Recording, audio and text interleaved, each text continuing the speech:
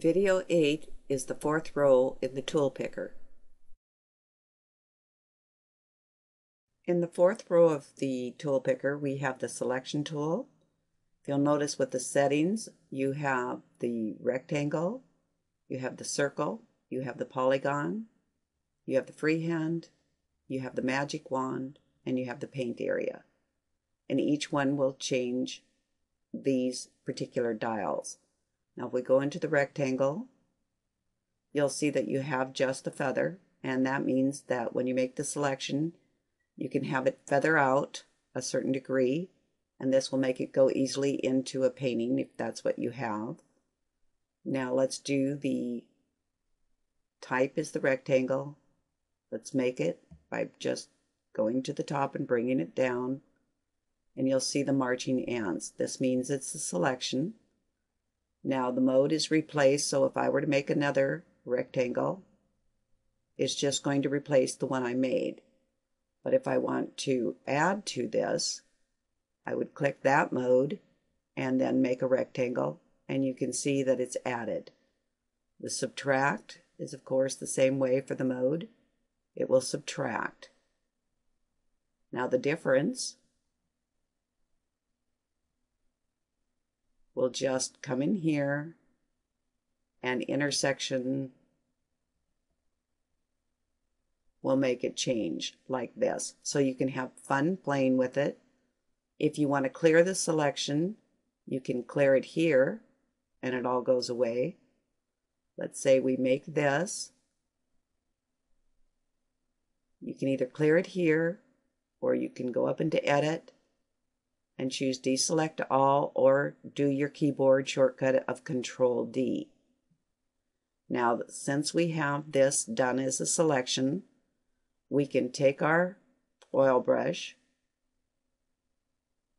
click in here let's go up to 400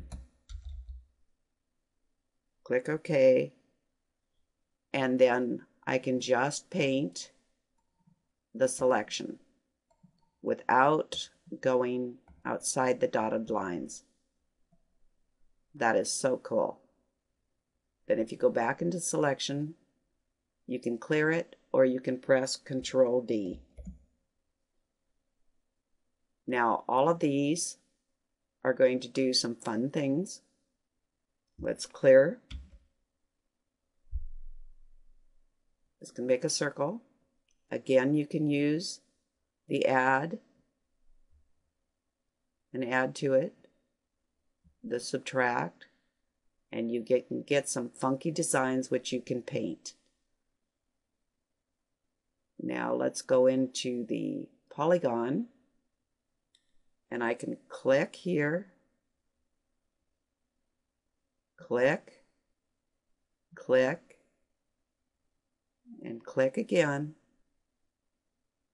and because I had it on subtract it didn't show. So let's go back to the replace. And I'm going to click click click click. And I now have a new selection which I could take my fill tool and simply click inside of it. And I have it fully painted.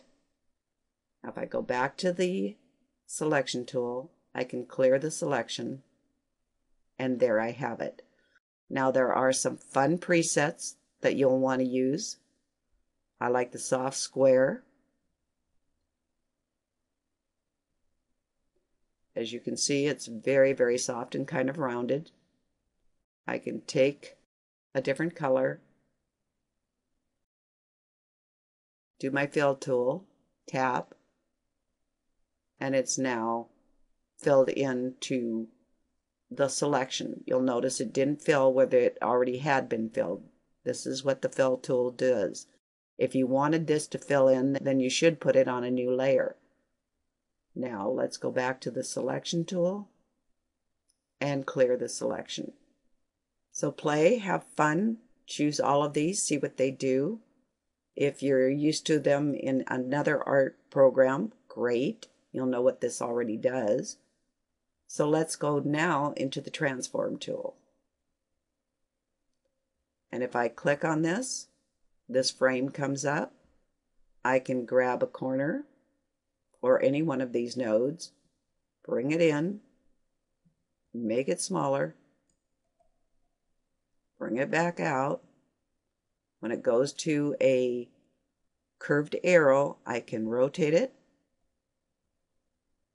And when I have the four-sided arrow, I can move it. And then all I have to do is tap out of it and it's done. Now the color sampler, if I click on it, and I have green down here in my color wheel, if I click on the blue, it automatically changes. Another neat thing this can do is if I click with the color sampler on my window outside of the canvas, I can change its color easily.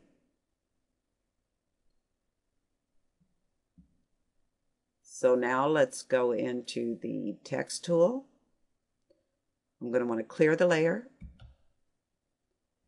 Now with the text tool there are no presets so we can go out and you're going to see that your text size is right here just click on it and we have it at 72 but this can be changed I can put 150 in here and click enter I can change the font to whatever I want. And these are toggle switches. It can be bold or not. Let's make it bold. You can have it italic. You can underline it. You can align it to the left, the center, or the right.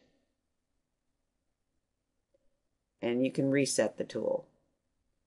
Now I'm going to go back up to 150 so you can see this better. Press enter. I'm going to make it Arial black and I'm going to make it bold and let's go down to a black and I'm going to click on the canvas and type my name and say I don't like it I can do shift home highlight it. I can change it. I can make it italic, I can underline it, and I can even change the color.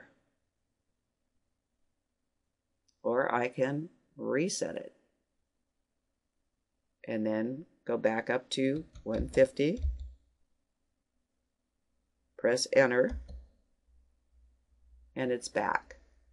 Now you'll notice in the layers it has a T, that means it's a text layer.